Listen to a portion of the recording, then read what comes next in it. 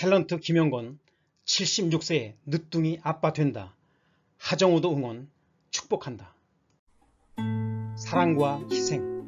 사랑은 뭔가를 희생하지 않고는 아무것도 얻을 수 없다. 키포인트 신학 아브라함 100세에 아들 이삭을 얻다. 아브라함은 100세에 아내 사라에게서 아들 이삭을 얻었습니다. 탤런트 김영건 76세에 늦둥이. 오늘 뉴스로 정말 말들이 많은데요. 이것에 대한 판단은 독자 여러분들께 맡깁니다. 김영건 39세 연하 여친의 낙태 강요 혐의 고소당해. 임신 스캔들 김영건 늦둥이 아빠 되나 아이 책임질 것. 하정우 동생 생겼다. 76세 김영건 아이 책임질 것. 낙태 강요 미수 혐의 피소 김용건 출산 지원. 39세 연하여 진의 몰라. 김용건 39세 연하 연인 임신 피소 우다사 출연 왜 했나? 혼전 임신 스캔들 김용건 미래 약속 계획 no 아들 볼 면목 사회시선 걱정. 김용건 39세 연하와 임신 스캔들에 하정우도 임신 축복. 탤런트 김영건 탐구.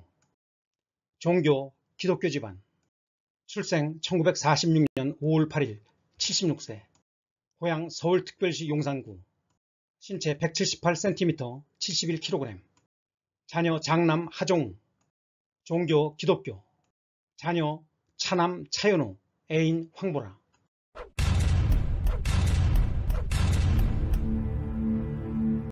배우 하정우 내가 있는 곳에서 선한 영향력 끼치는 사람 되고 싶다. 배우 하정우가 종교 관련 영화에 참여하며 과거 인터뷰가 눈길을 끌고 있다. 2017년 4월 26일 개봉한 서서평 천천히 평온하게에서 하정우는 내레이션을 맡았다.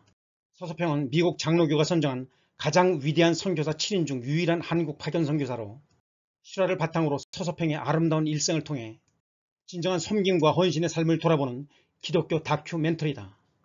하정우는 진실된 목소리로 섬김과 헌신의 메시지를 전해 영화계와 종교계 안팎에서 뜨거운 관심을 받으며 과거 인터뷰가 화제가 되고 있다. 그는 오마이뉴스와의 인터뷰에서 어느 위치에 올라서고 어떤 힘을 갖게 되면서 나도 모르게 점점 내가 교만해지는 것을 느꼈다. 교만하지 않게 해주세요. 자만하지 않게 해달라고 기도한다고 말했으며 교만과 자만을 늘 경계하는 마음으로 살고 있다는 하정우는 이런 자신에 대해 고민하는 시간을 갖기 위해 2011년 국토 대장정길에도 올랐다고 합니다. 그는 20일에 국토 대장정이 끝나면 뭔가 얻어질 것 같다는 생각이 들었다며 내가 인간으로 교만하지 않고 잘 살아가고 있는지 내가 나에게 주어진 젊음과 청춘을 잘 쓰고 있는지에 대해 많은 고민을 했다. 그리고 기독교인으로 하나님과 만나고 싶은 시간이기도 했다고 말했습니다. 모태 신앙인 하종호는 유치원 때부터 고등학교 때까지 교회에서 선거를 하면서 자연스럽게 연기자의 길을 걸었다고 합니다. 성가대를 하고 임원도 하면서 교회에서 활발히 활동했던 것들이 지금 살아가면서 좋은 자양분이 됐다고 고백했다. 또 뉴스원과의 인터뷰에서 그를 잊게 하는 추진력을 묻자 교만하지 않고 하루를 감사하게 살아가는 것이다 라며 교회를 열심히 다니면서 매사에 감사하는 마음으로 살려고 한다. 요즘은 매주 성경 공부를 하면서 말씀을 읽고 있다고 고백했습니다. 이어 배우로서 공적인 자리에서 종교에 대한 이야기를 하는 것에 어렵지 않냐는 물음에는 어렵지 않다. 내가 있는 곳에서 선한 영향력을 끼칠 수 있는 사람이 되고 싶다고 덧붙였습니다. 해당 인터뷰를 본 네티즌들은 하정우도 교회 오빠였다니 하정우 오빠 때문이라도 교회에 가야겠다 등의 반응을 보이며 환영했습니다. 39세 연하와 임신, 김영건, 썸녀 전혀 없는 건 아냐. 과거 발언 재조명. 연애는요. 몰아가기 있으신가 봐. 김영건 전혀 없는 건 아닌데 39세 연하 여성 A씨로부터 낙태, 강요, 미수 등의 혐의로 고소당한 배우 김영권의 스캔들이 큰 충격을 주고 있는 가운데 김영권의 과거 발언이 눈길을 끈다. 김영권은 지난해 MBN 예능 프로그램 우리 다시 사랑할 수 있을까 3에 황신혜와 가상 커플로 출연했습니다. 그는 당시 연애 관련 질문에 싱글된 지 20년 조금 넘었다. 혼자 된 게 내세울 일은 아니지만 살다 보니 그렇게 됐다고 토론했으며 이어 연애라는 게 쉽지가 않았다. 그러다 보니 혼자 생활하는 게 익숙해졌다. 지금은 건강하게 살아야겠다는 생각뿐이다 라고 답했습니다. 더불어 그는 2016년 MBC 예능 프로그램 나 혼자 산다에서도 연애 관련 언급을 한 바 있으며 김영건은 당시 데프콘이 썸녀 관련 질문을 하자 전혀 없는 건 아니다라면서도 잠시 호기심으로 하는 거지 진정성을 갖고 하는 건 아니다라고 밝혔습니다.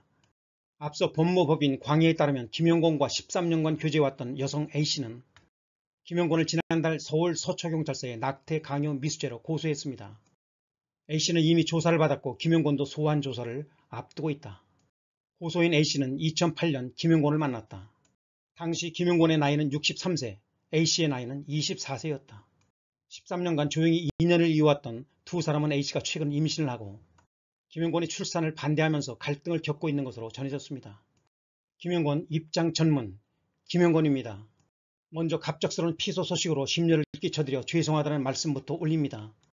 저는 최근까지 상대방에게 출산을 지원하고 책임지겠다는 뜻을 여러 차례 전했기에 솔직히 상대방의 고소를 전혀 예상하지 못했습니다. 축복받아야 할 일이 제 잘못된 처신으로 어그러진 것은 아닌지 무엇보다 태어날 아이가 피소 사실을 알게 될 것을 생각하니 마음이 한없이 무겁습니다. 상대방과는 오래전부터 알고 있었습니다. 자식들이 독립하고 난 후 빈둥지가 된 집에 밝은 모습으로 가끔 들렸고 혼자 있을 때면 외부에서 식사를 배달시켜 주기도 해 고마운 마음이 있었습니다. 매일 연락을 주고받거나 얼굴 보는 사이는 아니었어도 만날 때마다 반갑고 서로를 챙기며 좋은 관계로 지냈습니다. 저는 2021년 4월 초 상대방으로부터 임신 4주라는 소식을 들었습니다. 서로 미래를 약속하거나 계획했던 상황이 아니었기에 기쁨보다는 놀라움과 걱정부터 앞섰습니다. 제 나이와 양육 능력, 아들들을 볼 면목, 사회적 시선 등 모든 것들이 한꺼번에 몰려왔습니다. 당시 그 누구와도 이 상황을 의논할 수 없었던 저는 상대방에게 제가 처한 상황만을 호소하며 아이를 낳을 수 없다고 현실적으로 무리라고 말했습니다. 애원도 해보고 하소연도 해보고 화도 내보았습니다. 그러나 상대방은 생명의 소중함을 강조하였고 2021년 5월 21일 자신의 변호사와만 이야기를 하라며 저 연락을 차단했습니다. 조금 늦었지만 저는 체면보다 아이가 소중하다는 당연한 사실을 자각하고 아들들에게 임신 사실을 알렸고 걱정과 달리 아들들은 새 생명은 축복이라며 반겨주었습니다. 아들들이 응원을 받으며 2021년 5월 23일부터 최근까지 상대방과 상대방 변호사에게 순조로운 출산과 양육의 책임을 다하겠다라는 뜻을 여러 차례 전하였습니다. 하지만 제 생각보다 상대방이 받을 마음의 상처가 컸던 것 같습니다. 연락이 어렵더니 대신 고소로 뜻을 전해왔습니다. 제 사과와 진심이 전달되지 않은 것 같아 무척 안타깝습니다. 저는 상대방의 상처 회복과 건강한 출산, 양육을 위해 최선을 다할 것입니다. 혹여라도 법에 저촉되는 바가 있어 책임질 일이 있다면 당연히 질 것입니다. 저는 그 어떤 따가운 질책도 감당할 수 있습니다.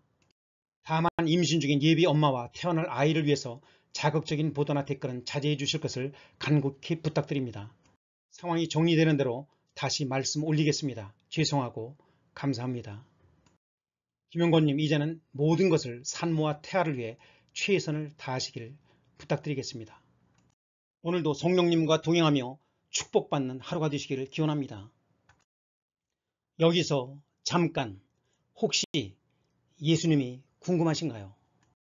지금 많은 문제들로 앞날의 희망이 안 보이시는지요? 모든 문제의 해답은 예수 그리스도이십니다. 마음에 감동이 있으신 분은 가까운 정통교회로 나가세요. 예수님을 정말로 사랑하는 크리스천 튜브였습니다.